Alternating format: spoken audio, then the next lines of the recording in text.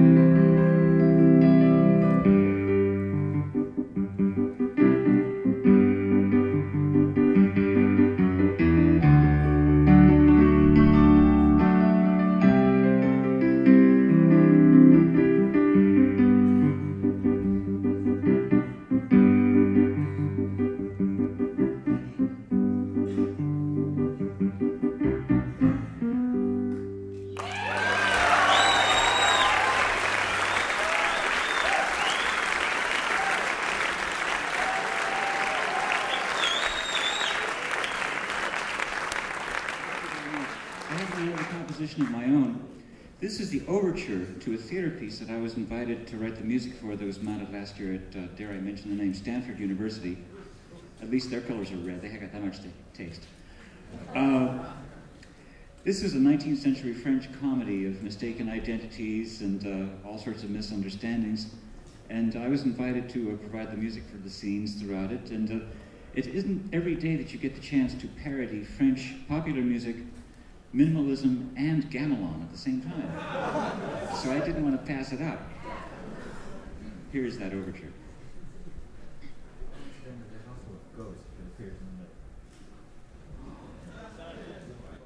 stitchery.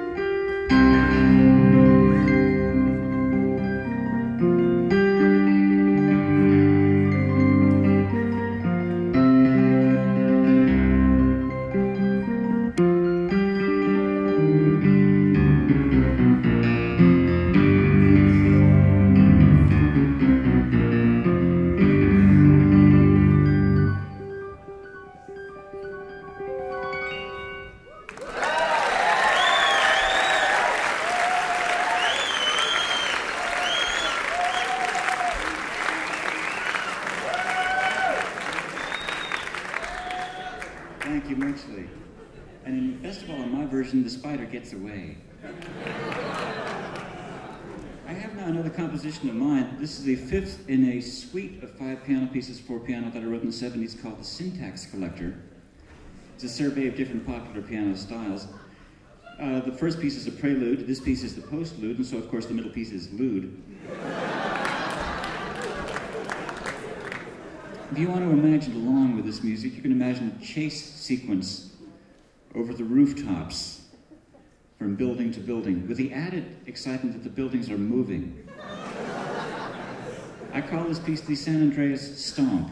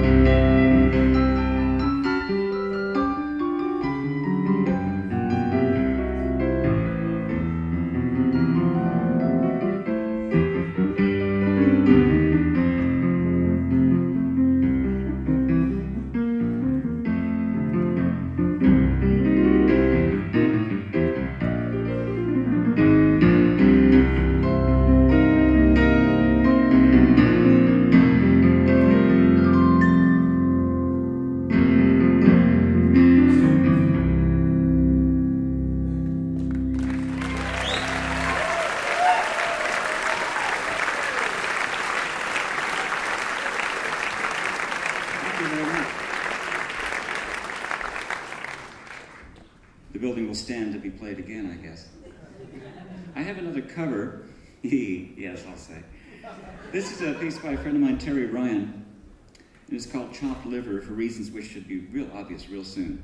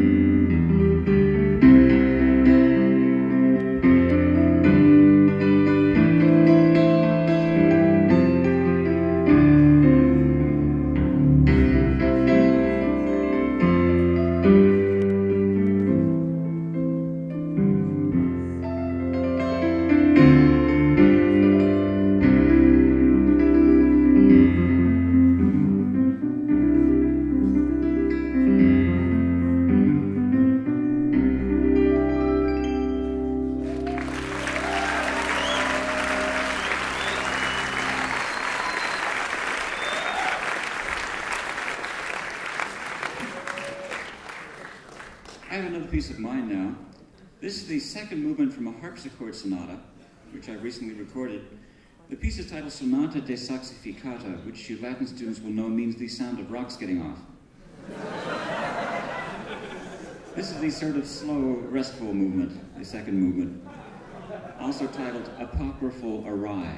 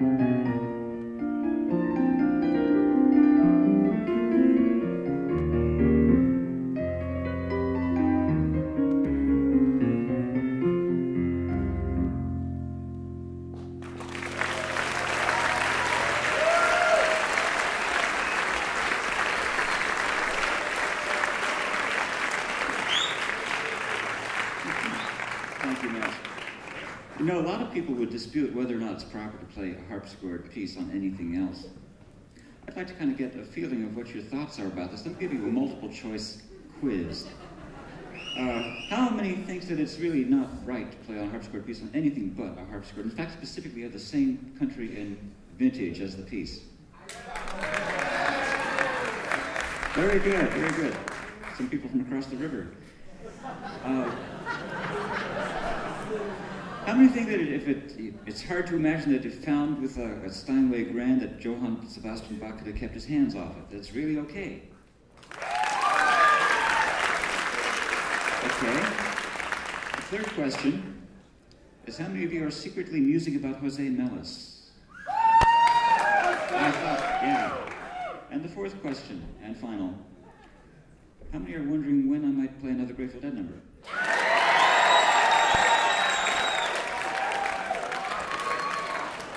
I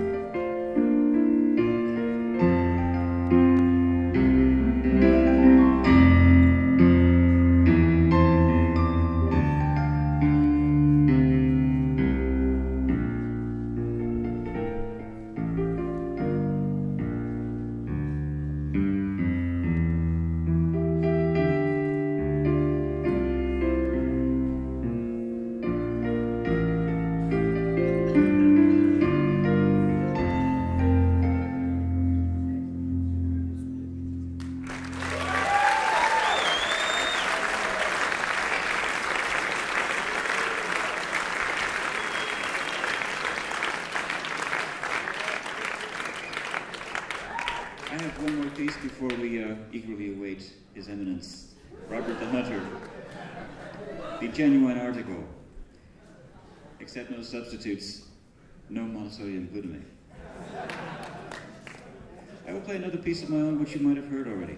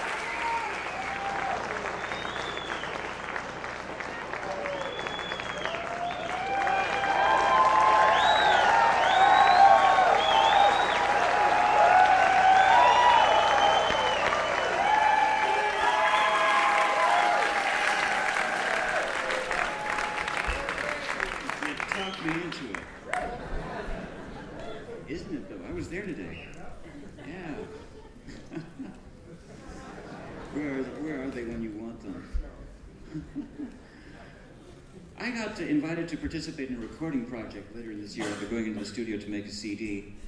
Except they had some bizarre spe- specifications. I said, hey, this would be a great chance to do some rags. I thought, no, no, I thought that that would be a good idea. They said, no, it would be something earlier, more inside than that. I wound up uh, committing to do sonatas by Beethoven, Schubert, and Haydn. This is the rather raucous Hungarian dance from the Haydn sonata I picked. According to one edition, it's number 37. According to Breitkopf and Härtel, it's 46. And according to another, it's 24. I make it 32.884.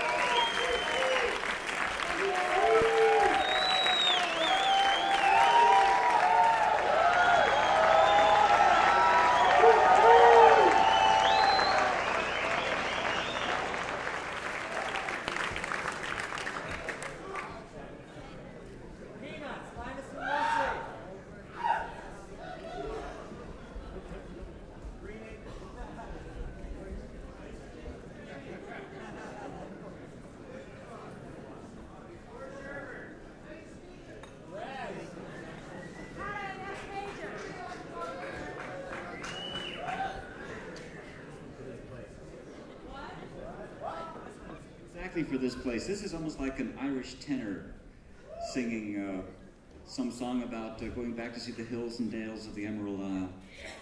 Except uh, it's disguised as a Chopin etude. Don't let that bother you.